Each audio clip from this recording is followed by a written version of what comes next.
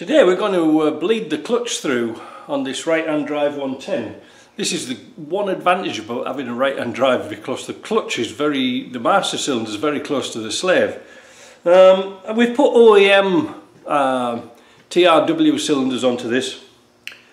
Uh, first thing you got to do, I, have just undone the bleed, uh, bleed screw to show you, it's 7 16th or 11 mil. Take the cap off and then screw it back in but only you know just do it finger tight because what we're going to do is use uh, gravity bleeding to bleed it through. It really is a quick job. A lot of people make a real mess of it but it's really really easy to do. So let's get set up. Well I can't quite get my uh, camera stand in to show you right down at the bottom all the pieces. Obviously you've got your master cylinder here. There's no filter in it or anything like that. But um, the, the slave cylinder is down there that's it, that's the one we've just taken the little cap off. I hope you can get it a bit better. Where has it gone now? Wait a minute. Yeah, there it is. So there's the bleed screw. Now if I sort of zoom out, I know it's a bit cack-handed but uh, you'll have to put up with it. I've taken the air filter off and the hose that goes between the uh, wing air intake uh, just to get better access because you can just to say get your arm down one side. So what we're going to do now is fill up the cylinder. I've just to say nipped up that uh, uh, bleed nipple there. I'm going to fill it up and hopefully gravity will see us through. So I've got my uh, syringe here. This is easier to work with than pouring it off a bottle.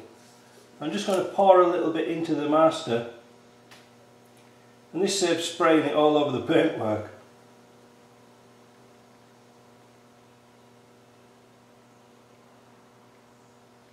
There we go. So it took from here to here to fill up the master.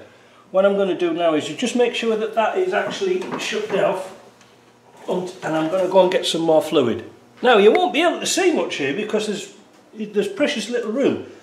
But I'm going to now, I've put a connect, uh, an oil collector on the floor and I'm just going to let it, let it drip through. And we should be able to see the level going down here. Now sometimes you have to give it a bit of an encouragement. But, uh, oh, not in this case. Don't let this drop down too far. Just keep topping it up.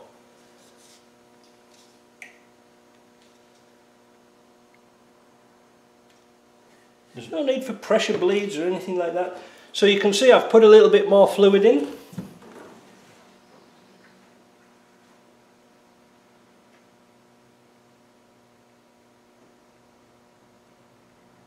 Wait a minute, wait a minute. Still going down. Of course all the pipes are empty.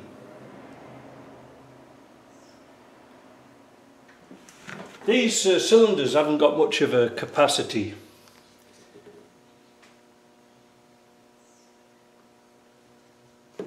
That's the bad part about them. But like I say, you won't be able to see much because I'm down here. You can't see all where the action is, but I'll, I'll I'll pop the camera down. You'll be able to see it dripping out shortly. Now, a couple of things. You've got to, on the master cylinder, on the slave cylinder at the bottom, you've got to make sure that the bleed screw is at the top, not at the bottom. A lot of people make that mistake, thinking the fluid falls out. No, but you want the air to come out at the highest point. Now it's sort of stuck there, I wish I never stopped it now. Just give it a little bit of an encouraging pull.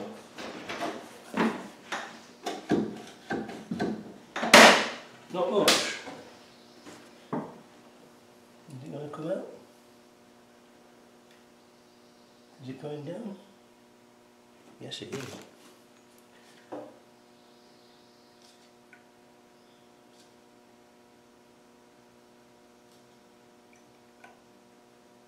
It's going down very fast. It's going as fast as I can push it in the air. Oh, there she goes.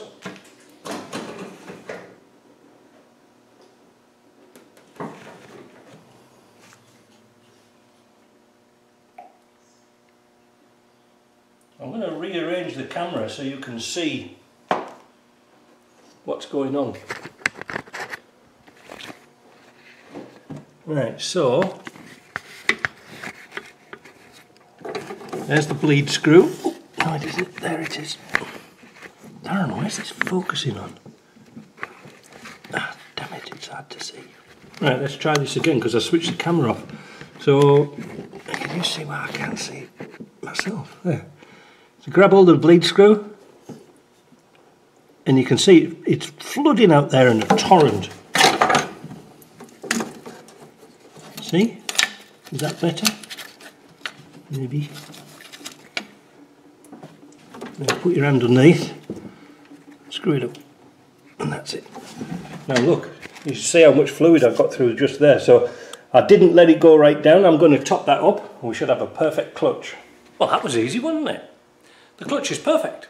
Absolutely perfect. Now, the point of this exercise was this. On your hydraulic cylinder at the top, your, your reservoir, as I was trying to say, when you set up these master cylinders correctly, the fluid has to run all the way down to the slave at the bottom.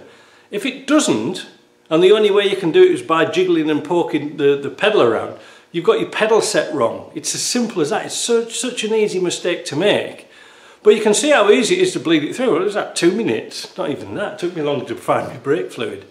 Talking of which, a little while ago I had a chat with the JP about this because he does hydraulics and messing about and uh, stuff like that. And I said to him, why can't we use ATF? He says, of course you can. He says, the only reason you use brake fluid is so you have just one sort of container. You couldn't use ATF in your brakes because it boils at a different temperature. But with the clutch, there's no, um, how do we say, there's no boiling point, there's no real friction involved. Like, you know, your brakes go around on your discs and that generates heat in your pads, which then transfers it to your calipers. Well, there isn't anything like this. And also ATF would be a better lubricant because we were discussing how poorly the design of these cylinders are at an angle uh, and the way that it's operated, it's always going to scrape, the piston's always going to scrape. So um, that was that. So yeah, uh, yes, you could use ATF, but you've got to remember, don't put it in the brakes. Now, I'm going to experiment on that next time I need to do my clutch uh, hydraulics. Uh, the good thing about hydraulic fluid, like the brake fluid, is it's hygroscopic. That means it pulls water, and it pulls moisture into it. And the reason for that is so it doesn't boil. The last thing you want is moisture in your uh, fluid. And that's why the caps are kind of special. You can see there's four little holes in the bottom, but they're offset so that there should be a hole in the top somewhere of this cap so that the moisture sort of prevented to get through. It's a cracker's idea, it never seems to work. But um, on some vehicles like North American cars, Japanese cars, they put a diaphragm in here under the cap and that's a lot better idea because that as the fluid's going down the diaphragm will move down but keep uh, moisture from that fluid there's different ways of doing it but this is like 1930s type of idea so we haven't really moved on much have you anyway so that's a, that's just really how to do your clutch and if your brakes are all set up, you can do that exactly the same. Just let it all bleed through. There's very little need sometimes for doing fancy tools and stuff, but sometimes you do get cars that's a little bit naughty. See you later.